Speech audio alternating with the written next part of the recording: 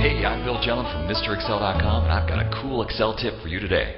Hey, this is Mike Girvin and Excel is Fun on YouTube, and I have a different way to do that.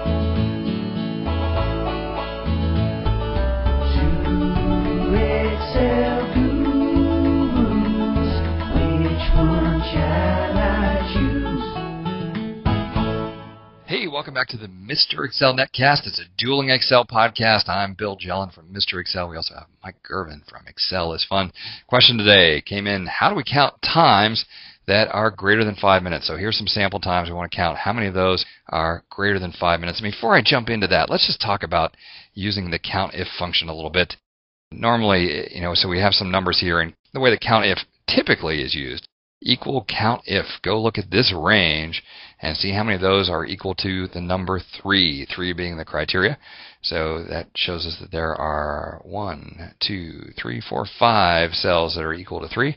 Uh, but it is possible to build somewhat complex criteria in here, and we can put in quotes, say everything that is greater than or equal to 3 and that will count all eight cells that are greater than three. So we're going to talk today about building uh, some sort of complex criteria.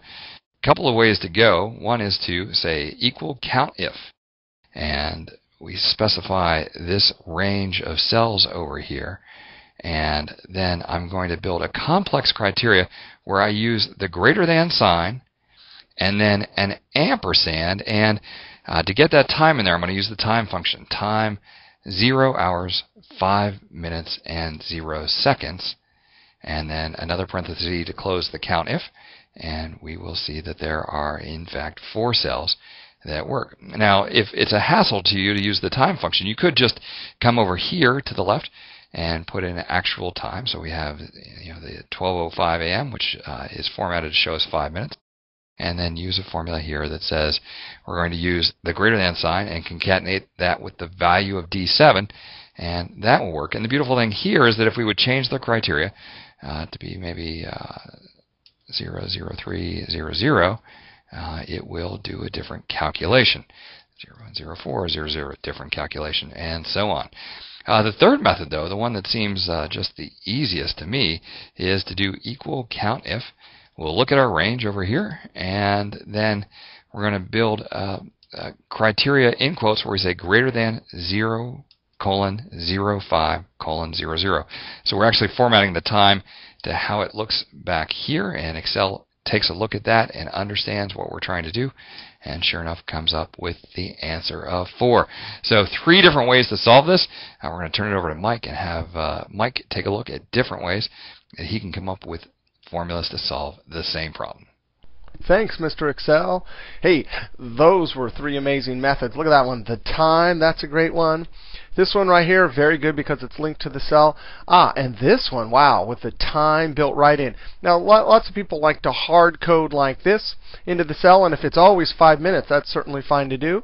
Uh, we'll do a variation on that. Let's think about uh, how many hours there are in one day. There's 24. How many minutes? 60. So total minutes in a day will be the product of those two. And we have five minutes. Our uh, number of minutes that we're interested in is five minutes. Now, what is time anyway, right? If we type 8 a.m., 8 colon 00 space a.m., if we control 1 and go look at the format, time, right? So time looks something like that. But if we get rid of, remember we typed it in this way. We typed that's how we typed it in. But if we get rid of all the formatting with the general, we can see that it's a proportion of one 24-hour day. So we could actually build our formula 5 divided by 1440. So we could do equals count if and get that range right there, comma, and then in quotes greater than end double quote, shift 7 for ampersand, and then 5 divided by 140, close parentheses. And that one will work. Another variation, if, and for sometimes when you're dealing with time, like 8 hours. The fractional equivalent is really easy. It's just equals 1 divided by 3, right? There's uh, 1 8 out of 3 in 24 hours. So let's see if we can figure out if we're always dealing with 5 minutes, maybe we could see how many five minutes if we can reduce this fraction.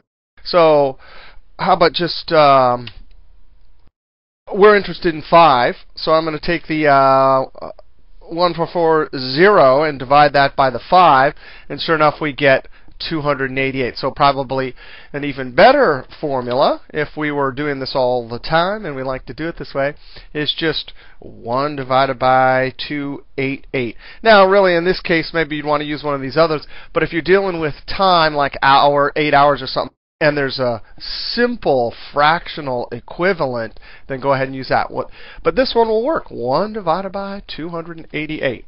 All right, uh, we'll see you next trick. Hey, all right. Well, how about that? Next time someone wants you to do something, you're going to say, I'm going to be there in five minutes. You're going to say, hey, I'm going to be there in 1 288th of a day. All right, on behalf of Mike myself, I want to thank you for stopping by. We'll see you next time for another Dueling Excel podcast.